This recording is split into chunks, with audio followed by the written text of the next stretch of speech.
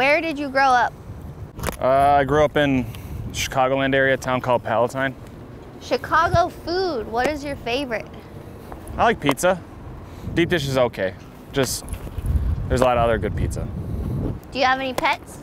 I have a dog named Kota. He's a husky mix. He's gonna be seven here in a couple weeks. Who was the first person you met when you got here?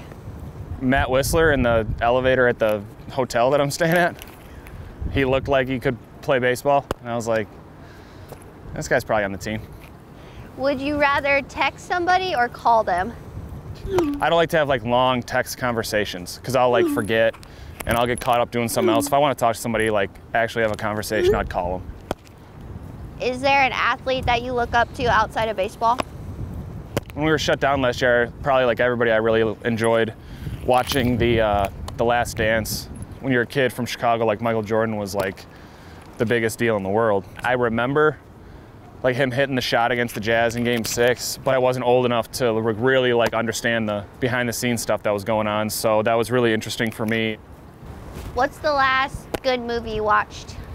I watched the Snyder cut of the Justice League during spring training and thought it was a lot better than the original. That was like four hours though, so it took a long time. What is your go-to streaming platform? For like new stuff, probably Netflix. Just kind of depends. I have them all. I don't like to discriminate. If you could travel anywhere in the world, where would it be? I would like to see a lot of different parts like Europe, and I'd like to go to Australia. Do you have any superstitions?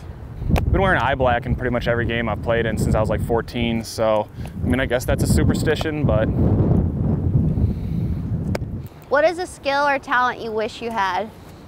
I wish I could play like guitar or like piano or something like that and just people that can like hear something and just like play it or whatever. I think that's pretty cool. What's your favorite kind of music? I kind of listen to a little bit of everything and can try to I try to appreciate everything. There's a time and a place I think for for really everything. What do you and your wife do in the off season? Do you travel or anything? Uh, we try to take one big vacation every off season. This year we just took a couple like road trips up to Michigan and rented out like an Airbnb for a weekend, but we went to Hawaii a couple off seasons ago. We might go back this off season because we really liked it. What is your ideal off day? During like the shutdown last year, I got like a smoker grill, so I've been playing around with that a lot. I'd say my pulled pork is probably one of my best, or my, my smoked chicken wings. Do you have a morning routine?